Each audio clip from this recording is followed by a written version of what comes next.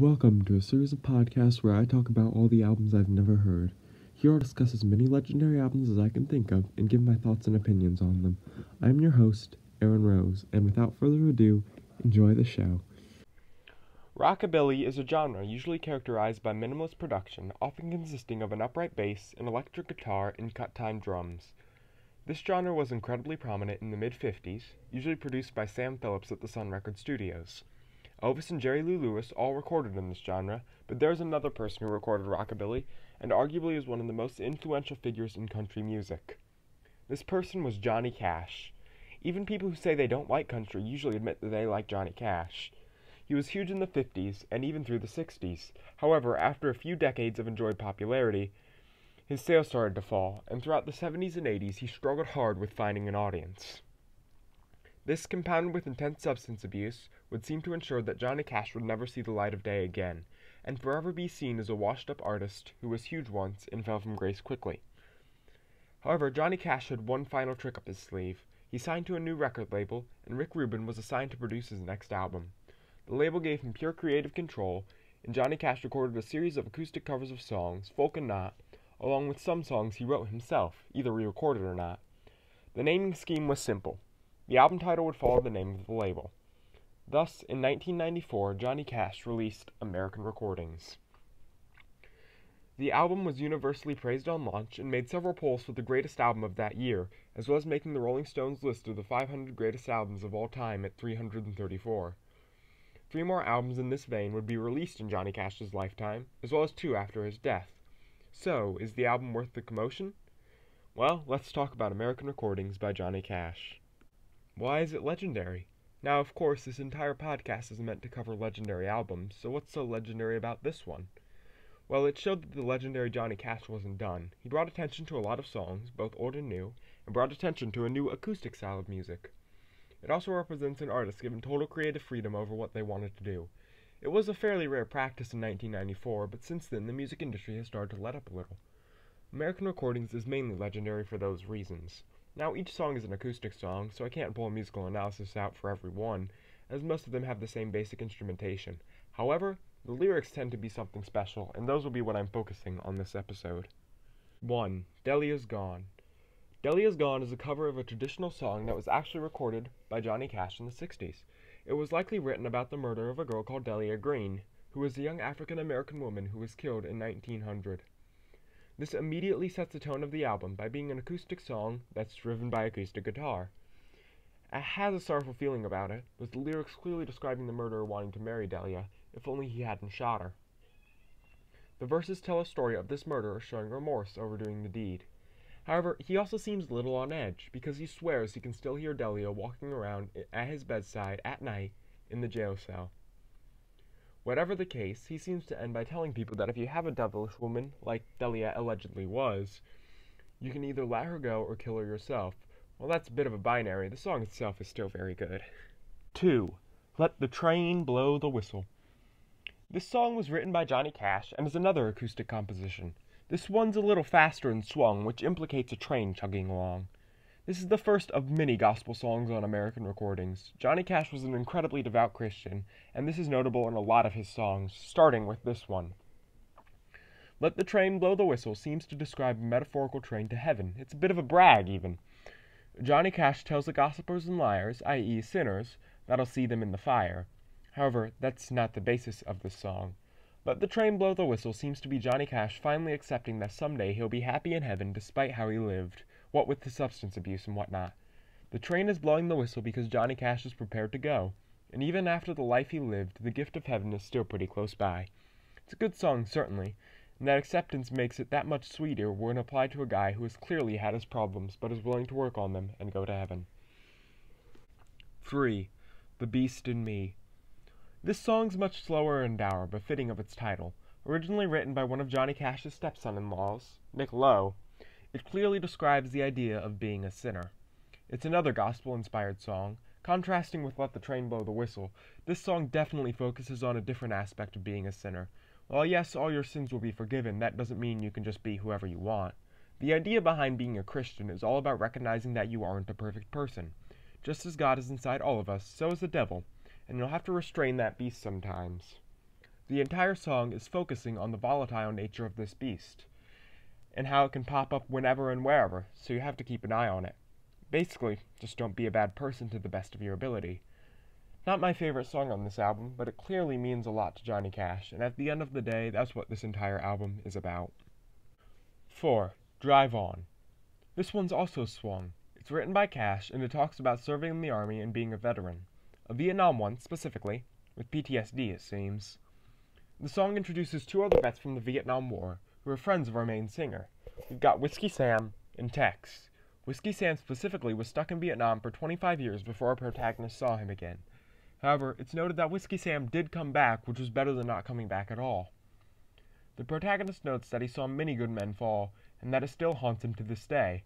However, he pays it no mind, just trying to live a normal life without being haunted by these memories. The next verse establishes Tex, who was set up as a great friend to our protagonist, but unfortunately died due to a mortar shell that hit the protagonist and Tex from just 20 feet away. The protagonist survived, and carries shrapnel to this day, but Tex did not. This appears to have a profound effect on our protagonist, who is practically frightened out of his mind with all the things he can't forget. Every time he wants to escape, his memory pulls him back to Vietnam, with the jungles and the deaths. However, the story ends on a hopeful note, with the last verse stating that the protagonist got a letter from Whiskey Sam telling him that he's a miracle in his own way. It's a very powerful song and it tells a great story. While plenty of songs about the Vietnam War exist, this does not diminish the value of any of them. 5. Why Me, Lord? This one's a slower one, which melds spoken word vocals with normal singing. Originally written by Kris Kristofferson, Why Me, Lord takes the layout of a prayer, with Cash asking God what he's done to deserve the blessings he gets. It goes back to the idea of the beast inside us. Again, nobody is a perfect being, and asking God for help is common practice. Johnny Cash spins this song basically just asking God to help him in his life. While he didn't have much life after this, it's never too late to ask for help. It's a solemn song, and one that's as simple in lyricism as it is fantastic in execution. 6. 13. Written by Glenn Danzig, 13 is led by an almost punk like acoustic guitar pattern. It's almost as different stylistically as you can get from the rest of this album on an acoustic guitar. If you've ever heard of the fanfiction slash story Fallout Equestria Project Horizons, one look at my YouTube profile picture and this should not surprise you. This song reminds me a lot of the main character of that story, Blackjack, at least what I know of her. This entire song is about a person who's so terribly unlucky that just being around them is a bad omen. Considering that Blackjack has a red and black mane and she's from literally Stable 13, having bad luck is her specialty. The songwriting is surprisingly metal for this album, and it really shows how bad being around 13 can be. All the lyricism really melds together to create this character very well. While I may not have a lot to say about it, 13 is easily my favorite song on this album. 7. Bury Me Not on the Lone Prairie Introduction A Cowboy's Prayer. This song is very slow and almost peaceful. It's a classic cowboy folk song, and it's another song in a gospel style with gospel lyricism. This song is pretty simple. It takes the form of a prayer delivered almost entirely in a spoken word style, accompanied by Johnny Cash's very simple guitar patterns. Well, it appears that way at first, and then it's suddenly revealed at the end that this was a cowboy's dying prayer. He asked God to keep him alive, as he's seen so much and has so much to live for, but that unfortunately doesn't pan out. At the end, it switches to being sung as the other cowboys revealed what they did with the body. They buried him on the lone prairie, in a shallow grave before continuing on with their lives. It's a solemn reminder that death can come for you at any point, and to live your life the best you can. 8. Bird on the Wire. Originally written by Leonard Cohen, this song is very slow and rather regretful. While Leonard Cohen was very much an all purpose songwriter who didn't really have any religious affiliation, and this song from his pen reads more as a genuine connection to someone human. Someone who Cohen had a great deal of respect for, and someone he loved very much. However, when sung by Johnny Cash, this song takes on a more obvious gospel feel, with Cash singing about God, as he has on many times on the album. This song once again touches on the themes of the album so far, about how Johnny Cash isn't perfect and how he's deeply resentful of all his sins. He's talking to God, asking if he's been unfaithful and hopefully not to him. While not penned by Cash, the lyrics at the end, I saw a young man leaning on his crutch. He called out to me, Don't ask for so much. And a young woman leaning on her door, she cried out to me, Hey, why not ask for more? also add another layer to this song. How the most desperate never want to inconvenience anybody, and how those who have everything in the world usually want more. It adds to the song by putting Johnny Cash in the middle and prepared to make his own choice by putting his trust in God to lead him on his way. It's a very good song. 9. Tennessee Stud. Originally written by Jimmy Driftwood, this song is led by a guitar part heavily inspired by the oompa bass lines of several old country songs. This song is also unique because it was recorded live in Los Angeles at a nightclub, so you can hear the audience reacting to the song as Johnny Cash is playing it, and I feel like it greatly adds to this song. Tennessee Stud is about a young man and his horse, aptly called the Tennessee Stud, going on adventures throughout the U.S. The song covers some of the protagonist's exploits, most involving his sweetheart's uncle being an outlaw, so the protagonist travels through trying to take down her uncle. When he eventually does so, he finds a beautiful maiden with golden hair, presumably his sweetheart, and a mare of her own, so he returns home with her and eventually gets with her, and their horses get together too. It's a pretty enjoyable song, and I feel like the audience adds to it quite nicely, mainly because it definitely feels like Johnny Cash is telling an old story in an old nightclub, which makes the song really stand out. While not my favorite song on the album, it's definitely a good one. 10. Down There by the Train. Written by Tom Waits, the guitar behind this song plays very nicely on the low strings, with some chords being played during a couple of choruses and periodic bursts of energy. Another gospel song, Down There by the Train, describes a hypothetical train where sinners can be washed of their sins, so long as they believe. The type of sinners Cash described in this song range from people like Judas and John Wilkes Booth and even the soldier that pierced Jesus' side. But of course, this being a Johnny Cash song, the final verse describes how he's also part of this legion of sinners and how he'll be going to that train too, to be forgiven. Down There by the Train concludes with a burst of energy where Johnny Cash becomes confident in being down by the train and how it's a path to being forgiven. It's another good song, and the changes in the acoustic guitar during it greatly add to the uniqueness and message of the song, and I enjoy it very much. 11. Redemption. This song is written by Cash, and it has a certain sound to it that sounds almost medieval and a little exotic. It's a simple bass and guitar pattern, but it certainly sounds unique. It's another gospel one about how God and Jesus save Cash when he feels down and tempted. The song discusses the blood of Jesus and how it gives Cash life, and how it gives others life as well. It makes a lot of comparisons to the tree of life, and how a vine that sprawls down it is likely Jesus' is doing. There isn't actually too much to the song. It's a very empowering song about trusting in God to save you. While your opinion may vary, I personally like the message and very much like the song. 12. Like a Soldier. Written by Johnny Cash, this song has a bouncy feeling to it. This song is another gospel influenced song, with Cash clearly talking about God in this one. This song basically consists of Cash telling God that he saved Cash. Cash brings up how he feels like a soldier and how somebody, but likely God, has saved him and how he now puts his trust into them. This drives home the very religious Cash's stance about God being one of the things that should matter the most in life. Another great part of this song is that Cash makes it very clear he's always looking forward. He says that each day is better than the one before, and just like a soldier, he is going to keep marching on. It's a nice song, and another great one on the album. 13. The Man Who Couldn't Cry. Written by Loudon Wainwright III, Cash's take consists of an almost bluesy feeling. This song was also recorded at the same nightclub as Tennessee Stud, and as such, you can hear the audience. However, what was a big benefit for Tennessee Stud makes The Man Who Couldn't Cry almost grating to listen to.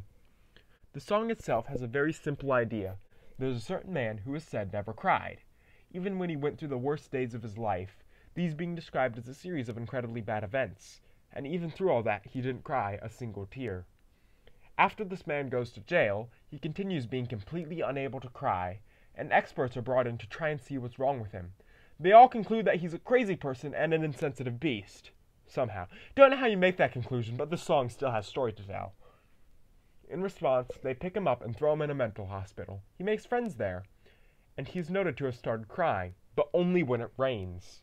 But one time it just started raining, and it continued raining for 40 days and nights.